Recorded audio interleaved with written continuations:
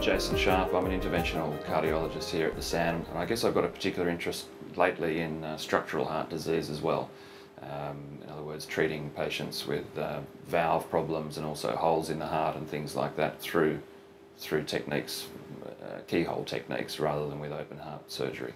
So heart disease is still a very common problem, a very important problem in Australia. It's still the number one killer in Australia.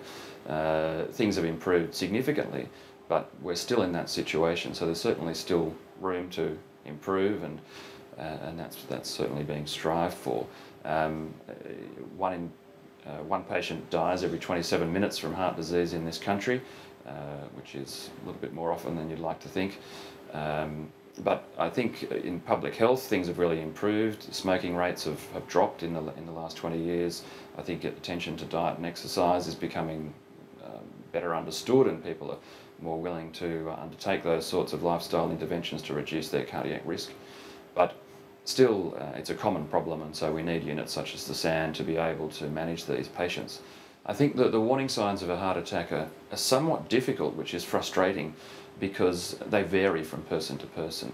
The typical symptoms would be a central, heavy chest discomfort, usually a dull pain rather than a sharp pain.